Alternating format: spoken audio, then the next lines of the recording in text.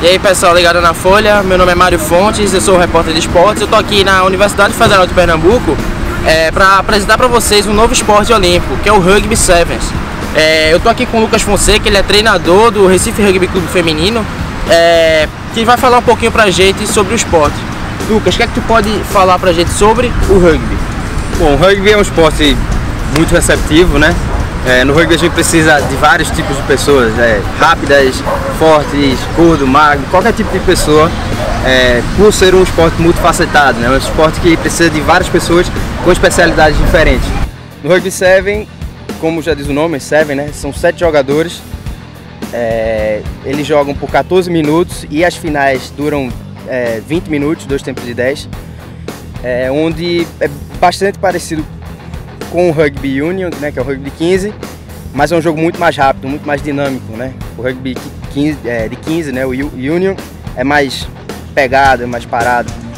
E por causa disso, você vê a, o biotipo, a, o corpo dos jogadores são bem diferentes. Né? Eles são mais leves, mais rápidos.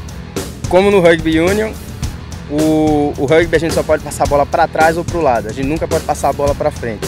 Se a gente passar a bola para frente, isso caracteriza um passo forward, que é passo para frente, é, que é penalizar, que é cobrado logo depois com o scrum. O tackle é um, é, uma, é um mecanismo que a gente utiliza para parar o adversário, né? onde a gente utiliza o ombro e os braços para amarrar, né? a gente desamarrar as pernas do adversário e jogá-lo ao chão, cair com ele ao chão.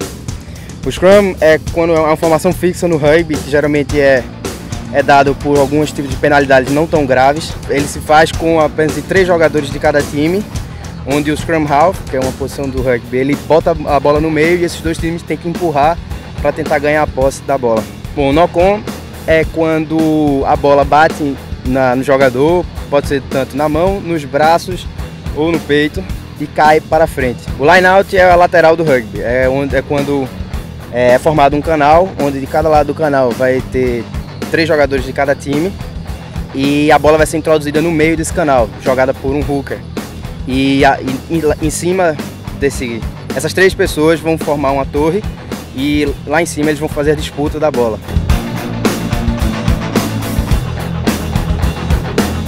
Tem o try, try, que é configura cinco pontos, que é quando é, o jogador encosta a, a bola no, no chão, no engol adversário o in-goal é a parte final do campo, que a gente chama.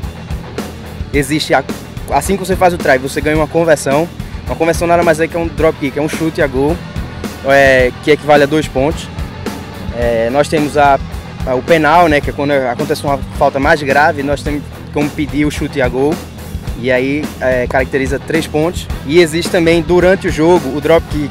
O drop kick é quando o jogador solta a bola, a bola tem que quicar uma vez no chão e ele chuta para o gol. Então, aí esse também vale três pontos. Essas são as maneiras que a gente tem de pontuar no jogo.